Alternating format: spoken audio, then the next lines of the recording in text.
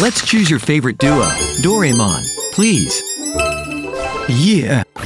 This game is wonderful regardless of any character you choose. The levels are all perfectly designed and keep you entertained for hours.